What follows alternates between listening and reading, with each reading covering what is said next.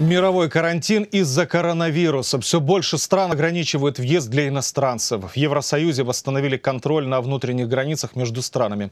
В какие страны теперь сложно попасть и как люди подбадривают друг друга в условиях пандемии, расскажет Роман Смолер.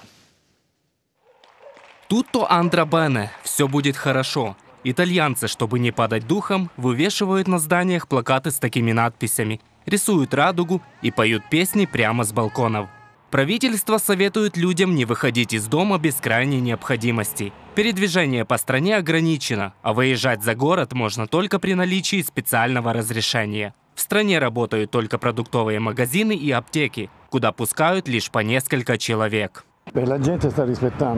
Люди соблюдают правила, и я надеюсь, что это поможет. Но также я надеюсь, что всегда будут доступные продукты. Я придерживаюсь необходимых мер предосторожности. У меня есть перчатки в сумочке, и я спокойно стою и жду своей очереди. Ограничения действуют и в Польше. Там тоже закрыты все заведения. Помолиться в костел пускают не больше 50 человек. Въезд в Польшу для иностранцев нерезидентов Евросоюза запрещен. На границах с соседними странами установили временные блокпосты. Отворена została granica. Внутренняя граница Евросоюза между Польшей и Германией восстановлена. Спецслужбы работают эффективно и думаю, что мы защитим эту границу от коронавируса.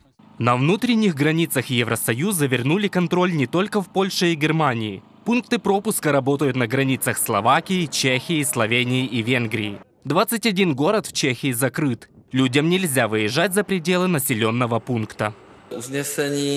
С 16 по 24 марта правительство ограничивает передвижение людей по территории Чешской Республики за исключением поездки на работу для ведения бизнеса или другой деятельности.